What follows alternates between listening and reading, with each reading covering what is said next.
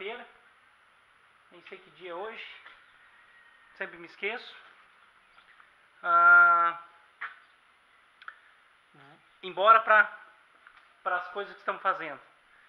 Ah, tá um pouco escuro aqui dentro, tem umas lâmpadas apagadas aqui, mas aqui já vai dar para ver.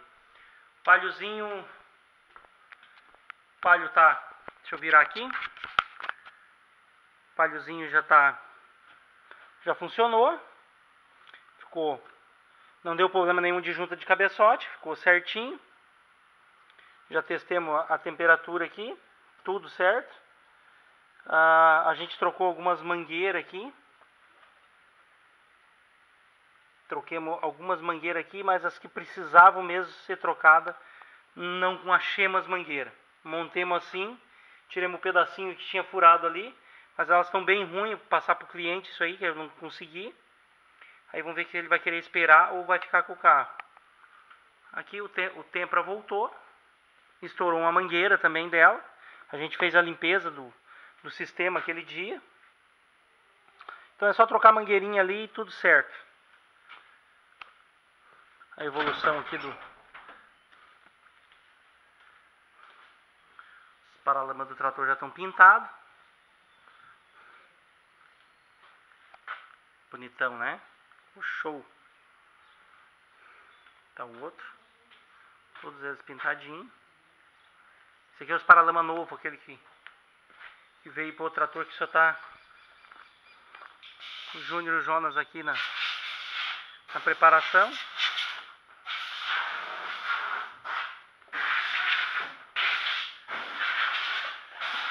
O trator aqui foi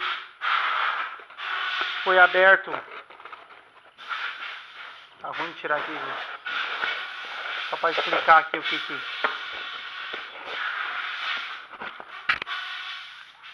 O Júnior já abriu aqui. O que estava acontecendo aqui é que veio a junta errada. É, veio a junta errada, já trouxeram as peças.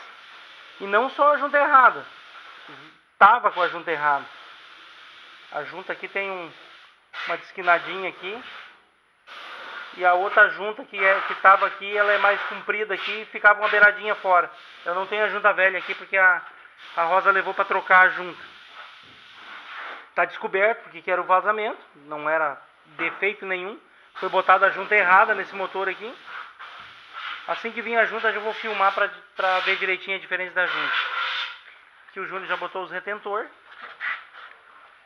Então colocado aqui, falta trocar os outros retentores ali que eu tenho que tirar as peças fora. E por enquanto fica nisso aí.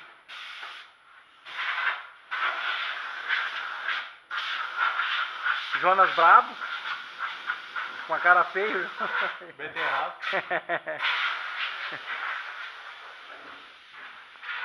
É isso aí. As novidades eu vou mostrando para vocês. Voltemos logo mais. Voltando aqui. Só para registrar, o filtro tá novinho, tá um pouquinho levemente sujinho, contaminado, mas muito pouquinho. Dá para rodar ainda mais uns 5 mil quilômetros aí tranquilo. Foi trocado o óleo dele, filtro. E a gente vai experimentar o carro agora para ficar ver se ficou tudo certinho e vamos depois botar um aditivo nele e deu para bola. Bom dia. Sexta-feira nós trocando, fazendo a limpeza aqui, vamos trocar o aditivo desse carro. Trocar, pôr aditivo, né? Porque estourou a mangueira e saiu tudo fora. Ah, olha a cor aqui da. Olha a cor da, da mangueira aqui. Já tá mostrando que tá sujo o bicho. Deixa eu virar aqui. Estamos com a máquina aqui de, de limpeza, esperando ligar a ventoinha para nós abrir aqui e fazer primeiro, o primeiro enxágue de água. E e tamo aí, né? O carro tá dando uma trepidadinha no motor, depois vamos dar uma olhada para ver se nós achamos alguma coisa de errado. É isso aí. Volto, a hora que estiver tirando a água aqui, a gente volta. Voltando aqui na limpeza do radiador do palio. Olha só a cor da água. Olha só. É um barro. Aqui está a máquina. Estamos com uma temperatura de 79 graus.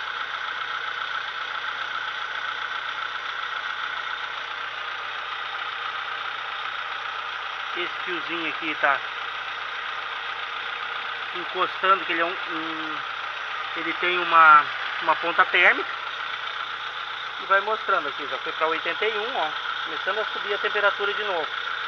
Assim que chegar aos 95 graus por aí, a gente abre ele. A hora que ligar a ventoinha, a válvula termostática está tá aberta.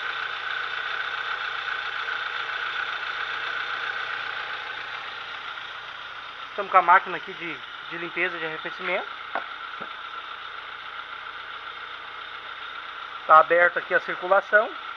A água fica circulando. A máquina faz parte do, do radiador. No momento que a gente fecha essa, essa válvula aqui, ó, é uma válvula, fecha ela, ela fica trancada essa passagem aqui, abre a água que vem da torneira, entra e sai aqui.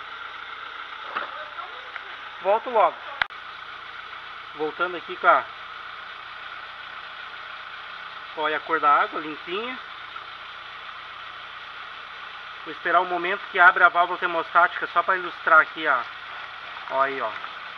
Abriu a válvula termostática. Saindo água quente.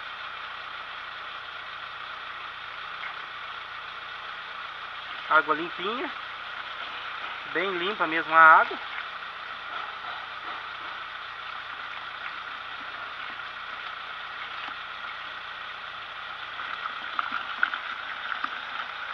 Bem show de bola. Quase me queimei. Ó. Fechou a válvula. E assim ela fica trocando água. Vai tirando lá de dentro do bloco. Essa água aí. Tá bem limpinha a água. Pode olhar aí, dá pra ver o fundo do balde. Nitidamente. O... Ele baixa para uns 78. E vem subindo. Deixar fazer mais uma troquinha d'água aí a gente vai pôr o aditivo. De volta aqui mostrando a temperatura 84 graus. 85 a 86 graus abre abre a, a válvula. Ó que abriu começou a abrir a válvula a gente vê a água se movimentando lá que abriu a, a abriu a válvula. 87 graus válvula aberta.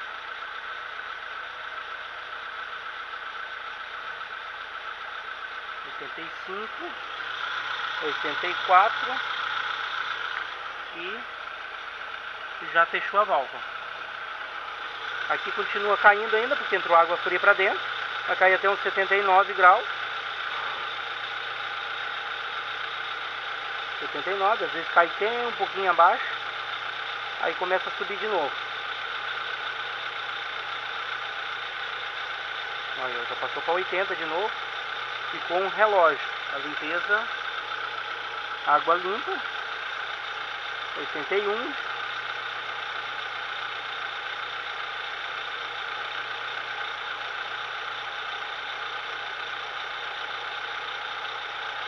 Isso aí, tá?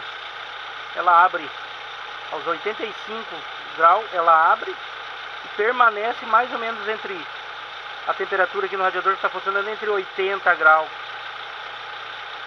80 a 87 por aí. Ó, 86. Ó, 86 graus lá já começou a borbulhar lá dentro, ó. Começou a Começou a botar água pra fora de novo. Certinho. Chegou a 88 e já caindo para 87.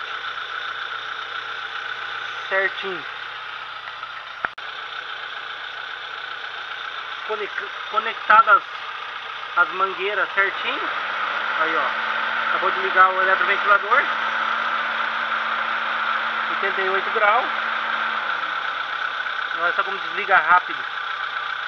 Estou fazendo a troca térmica é rapidinho. 90 graus, ó, passou para 89. Vai vir para os 90 graus.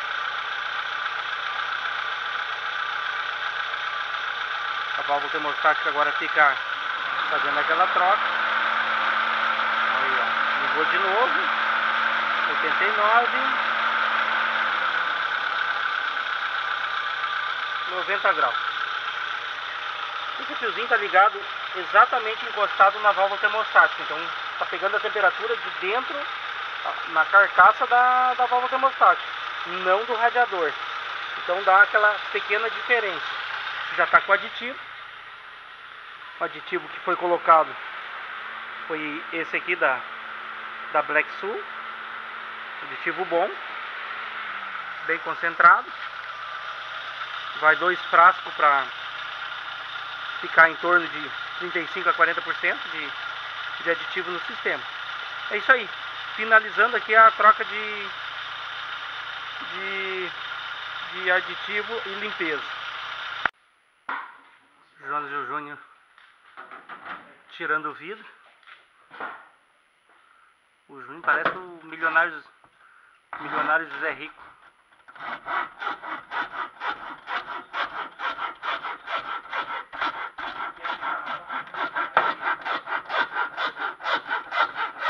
cabinho de aço e vão cortando o vidro aqui.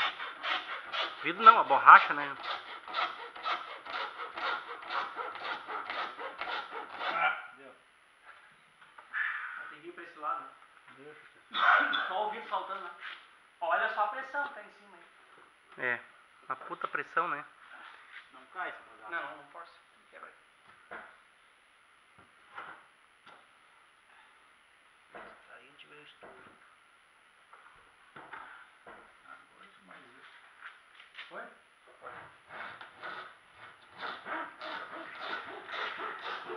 Os paralamas estão pintados. Já tava ontem, né? Tá aí os paralaminhos. Lá tá os capô. Isso aí. Voltando aqui no pai. A aplicação das velas estava errada.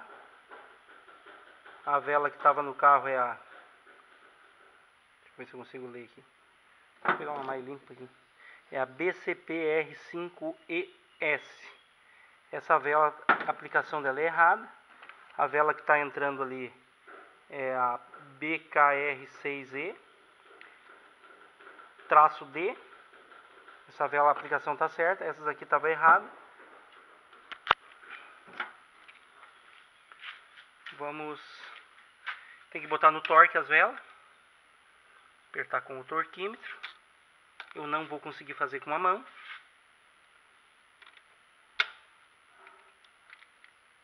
Deixa eu botar pra... É 3 quilos, 30 newtons, tanto faz. Não vou conseguir fazer com a mão. Só um momento. Voltando aqui na colocação das velas, da, as velas novas que estava com a aplicação errada. Vamos torquear as velas. As velas aqui são torqueadas com 3 kg.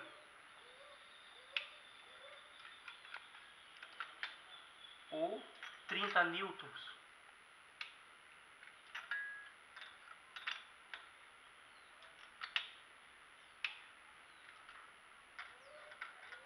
Pra ficar tudo certinho, no peso certo. Beleza. Torqueada as velas. Voltando aqui no páreo na surdina.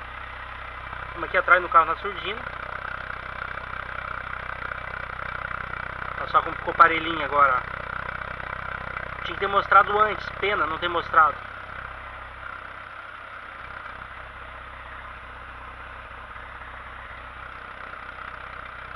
Ficava dando uns. Ficava dando uns cortezinhos. Né? Mas agora ficou tudo certinho.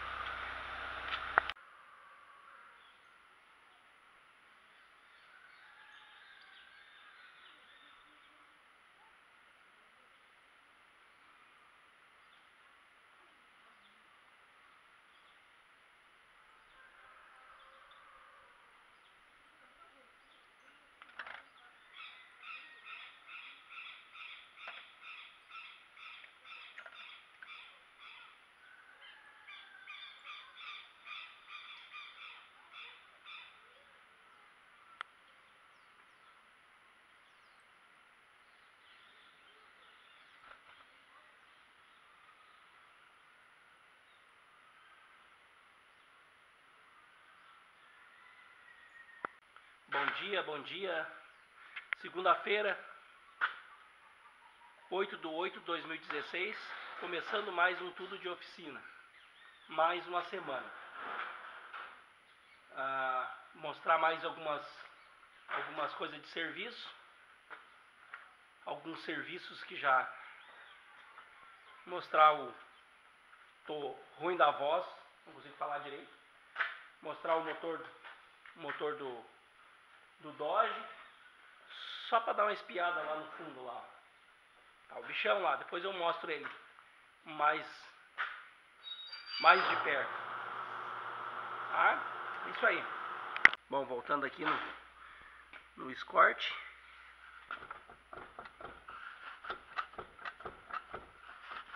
Aí, já deu pra ver. Estouradaço.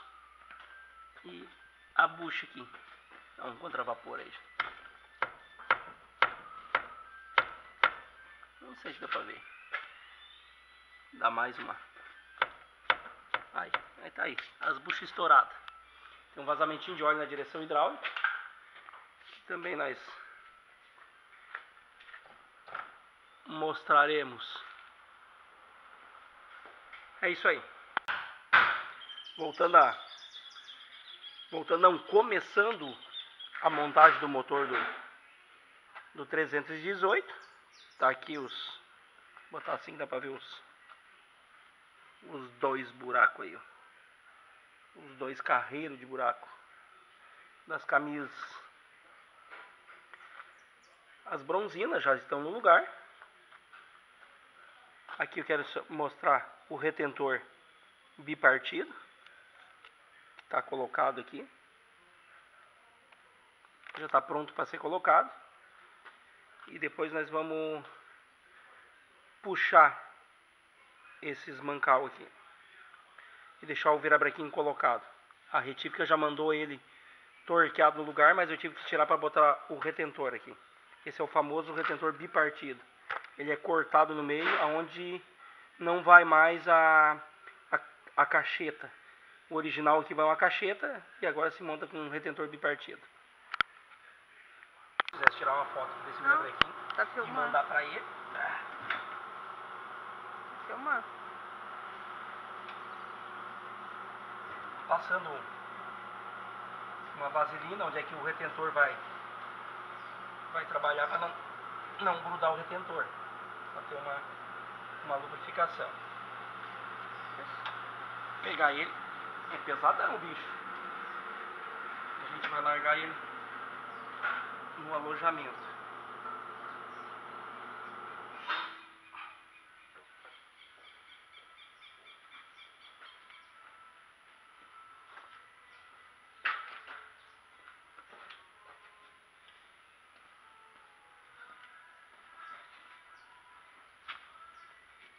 a lubrificação. Eu não estou fazendo a lubrificação porque a retífica já botou um óleo especial ali e eu não quero mexer, vai ficar o mesmo.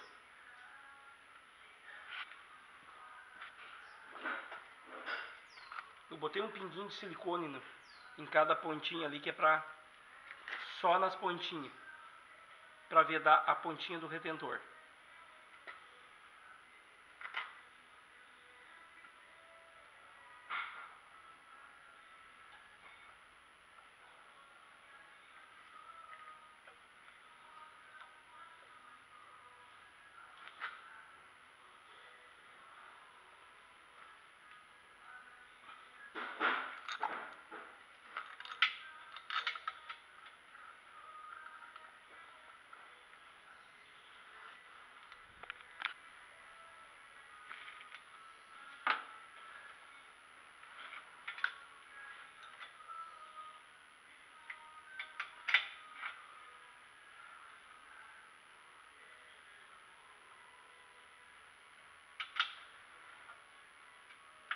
Aqui é só uma encostadinha.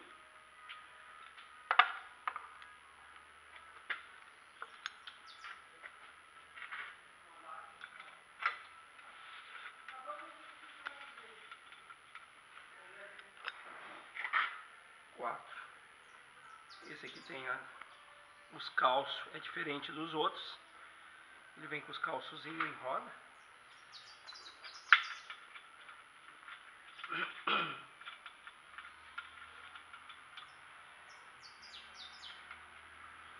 Alguém pegar essa parte do motor aqui não souber botar que lado vai, o lado da chaveta, sempre vai para o lado da chaveta, aonde tem a chaveta da a chaveta que a gente chama aqui, essa chavetinha da da bronzina, do mancal. Ali no motor tem também a chavetinha, sempre fica voltado para o mesmo lado.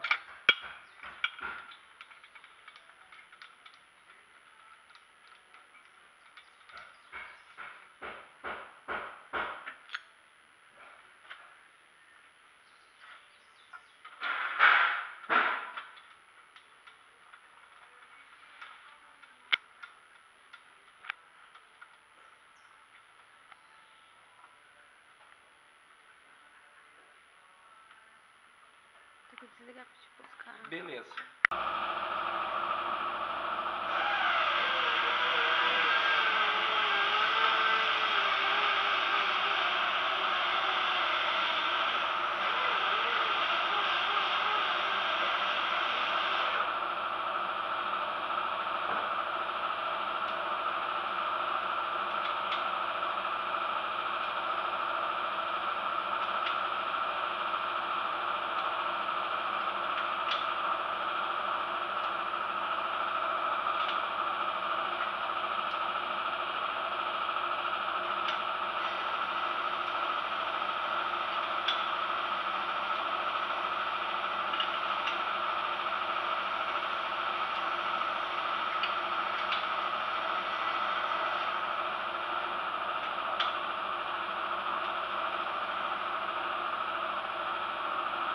Etapa 115.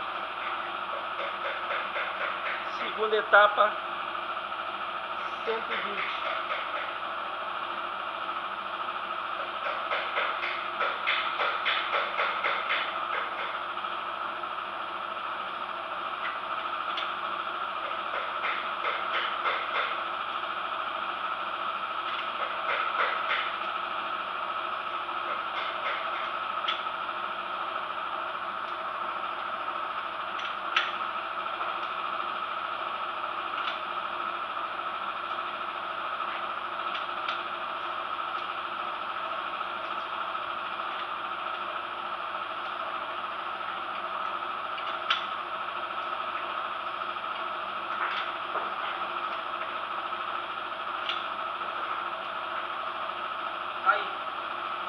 Aí. Torqueada as capas de mancais.